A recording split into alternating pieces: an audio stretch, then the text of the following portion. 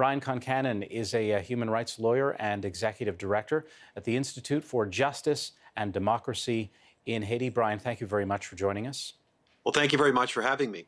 Um, how much uh, cleaning up does Oxfam have to do internally to, to make things right here?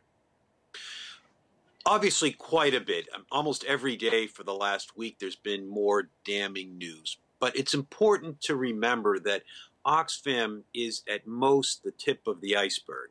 Um, and the real, the big iceberg is is massive systematic accountability, uh, lack of accountability by humanitarian actors.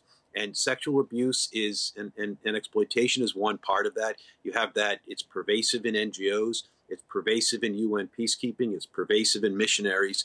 You also have much, many other accountability crises from how organizations spend money that they're given to uh, governments and international financial institutions interfering with with with uh, government policies to in a case that we're working on uh, the UN killing 10,000 people by introducing cholera and not accepting responsibility for that.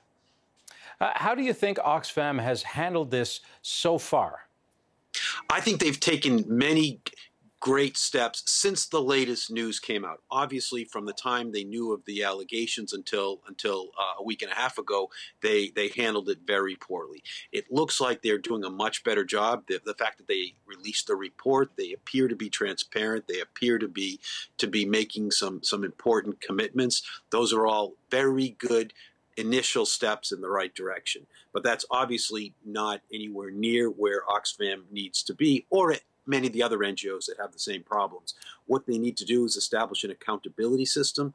And for me, the, the, the, the hallmark of a viable accountability system is giving victims and people on the ground the ability to file complaints and to assert their rights. Uh, among uh, NGOs, how, mu- how much of a problem is this? Uh, you know, no one knows for sure, but there have been some studies. A study just came out by Save the Children uh, in Haiti, and they, in a, in a kind of a quick investigation, they found that 23 different NGOs, this was after the earthquake, uh, a little bit before the Oxfam um, exploitation happened, but they, they found 23 organizations uh, had a sexual exploitation problem.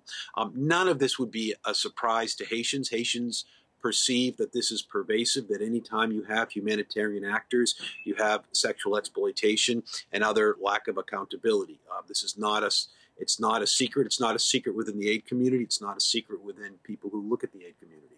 Uh, they have apologized uh, to the Haitian government, but um, what, what, does this mean in terms of Oxfam's presence in that country? Uh, that's still to be defined. The the the, uh, the, president and some ministers have made have made some some threats that if Oxfam does not respond correctly, that Oxfam will be not allowed to work in Haiti, and have talked about broader investigations, which I think is is a good sign. Uh, the problem is is that, and from the government's perspective and the Haitian people's perspective, Oxfam has been doing very important work. Other humanitarian actors have been doing very important and one of the concerns is if there is if there is um, a lack of funding to the humanitarian sector, the main sufferers from that are going to be people in Haiti and other vulnerable countries. And so, what needs to happen is uh, humanitarian work needs to be made accountable, but it also need, it needs to continue. And I think that uh, there you don't need to make a choice. I think that both are possible. You can be accountable and effective. From the Institute for uh, Justice and Democracy in Haiti, Brian Concannon. Brian, thank you very much. Well, thank you very much for covering this.